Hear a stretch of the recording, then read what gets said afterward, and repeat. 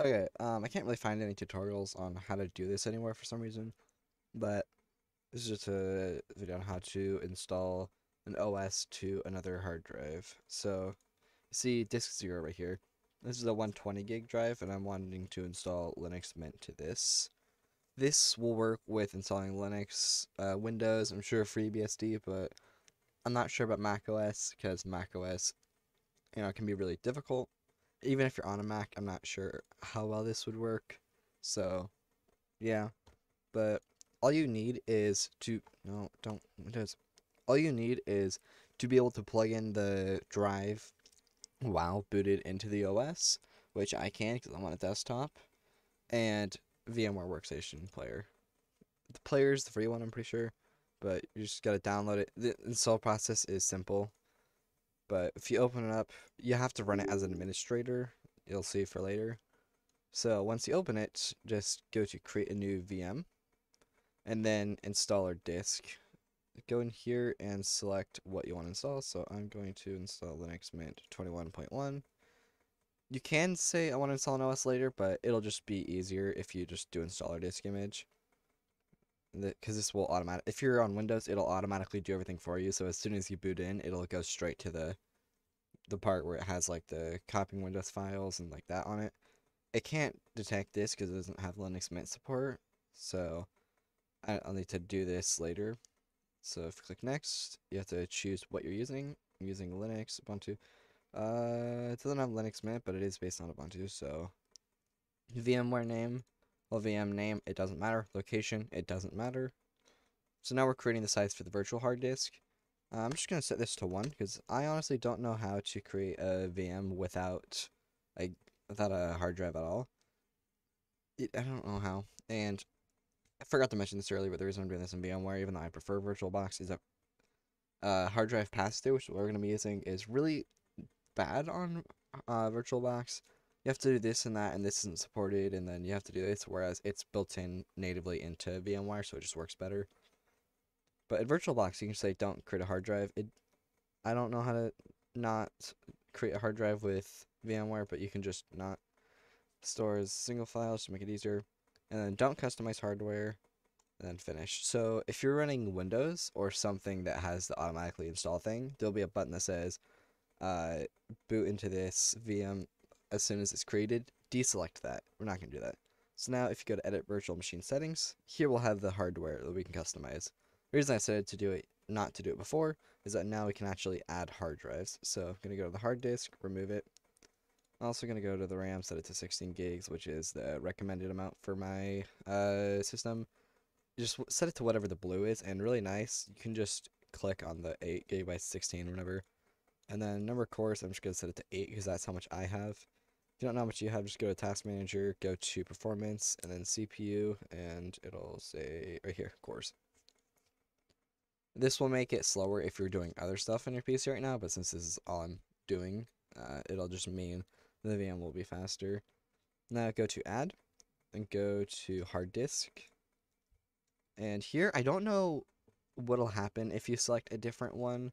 I haven't tried, but I'm just selecting SATA because I'm connecting the hard drive through SATA, so it'll just be simpler. And then choose a physical disk, click next, and here if you it'll give you an error.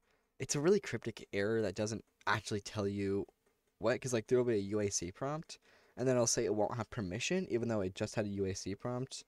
But if you that's if you don't run as administrator, so if you get the error, just rerun it as admin. And then device. so They'll show your devices. So open disk management, which is built-in tool, and then look for the drive you want. I want this one that's 120 gigs, and uh, this is disk zero. So device disk zero. You can use individual partitions. Say if you want a dual boot, you can create one partition that's for this OS and give it that partition. But it gives me just it gives vague errors that I can't figure out how to fix if you do that. So I'm just gonna use entire disk, and you can just say, oh, only install it half of the disk in the actual installer for the OS. And then name, uh, I don't care. Now, if you just click OK, you can play the virtual machine. Shut up. And it'll start. when it starts, if you left click, your cursor will disappear. But as it says in the top left, you press Control and Alt, uh, you'll get your cursor back. And now it's booting into Windows 11. That's because I that's what I have on it. So if I sometimes it'll boot directly into the ISO, sometimes it doesn't. But if it doesn't, spam escape at the start. Thanks, it didn't. Restart. Just spam escape the whole time.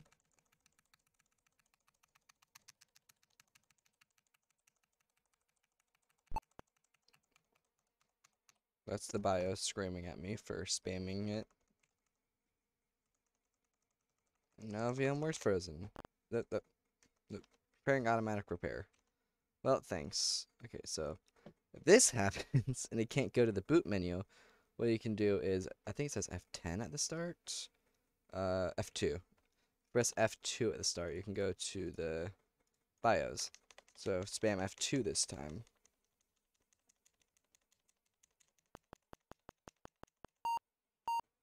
Just shut up. I don't know why it's not showing me anything. This is really annoying. Uh, there go. The BIOS is loaded. Go over to boot. I pressed right arrow three times, by the way. Up, up, up, up, up, up. You got this. There you go. I, it's just so slow. So then, um, select the hard drive, or the CD-ROM drive, and then press. Okay, so go to the hard drive and press minus, and that'll put the hard drive below the CD-ROM in the boot order. And then press F10 to save and exit. Enter. And guess you're here to wait for this. This is fun. Just doing nothing. I have no idea why. Okay, VM is actually restarting. Oh, there we go. Okay. So start Linux Mint. You know, if you're installing Windows, that won't show up. It'll just go directly into the Windows installer. Uh, I'll just ignore it.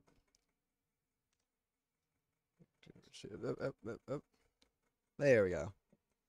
And I'll just pause until it gets to the live boot. Okay, now I'm in the live boot for Linux Mint.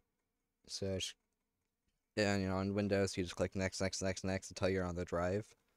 On Linux, typically, either you have to open the installer app or it'll just boot directly to it. This is being really slow because welcome to hard drives and welcome to VMs. That's just how it works. Yes, I want English.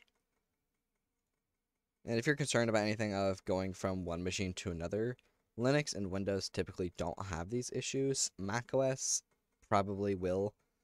I'm not really an expert on how macOS works, like on the system level or eh, Hackintosh or any of that. So I can't give you any help, any advice for macOS. Uh, the best advice would be to just clone the system if you're doing macOS, because like, what else can you do? I don't know. yeah, welcome to VMs. Here's where you gotta be careful. Erase disk and install Linux Mint. Uh, this isn't a VM any anymore. Like what we're doing, where this is like your actual hard drive.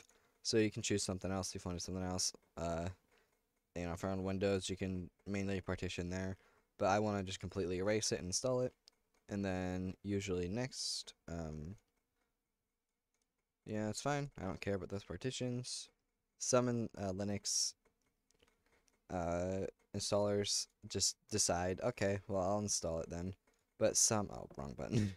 but then some will show you what drive you want to select, and then some will also, like, especially if you're doing the automatic thing on Windows, like the automatic installer thing VMware has, it'll insist on installing to the VM hard drive instead of your actual one. So that's why it's way easier if back when we were customizing hardware, if you just remove the virtual one completely.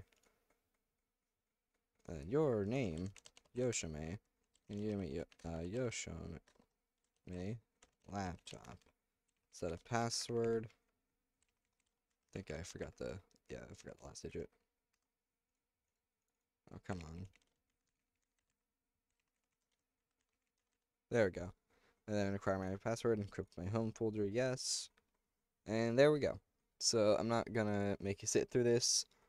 Uh, you know, when it's done on Windows, when you get to the desktop, just shut it down. On Linux, when you're installing it, and it just says, "Okay, uh, restart your system." Now you can just close the VM. For some reason, Windows really, really hates when you at this point go disk management action and refresh. So just do not touch disk management at all.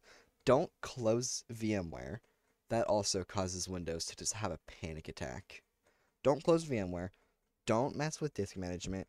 Once uh, the VM is done install is done installing, then shut down your PC and unplug the hard drive, your PCs off because you know Windows freaks out says, "Oh, there's a problem with this disk." It, I don't know what it does to the disk. I don't know any of that, and it's safer to just be safe and just you know not risk it. Uh, but yeah, that should be everything, and I hope that this helps. Bye.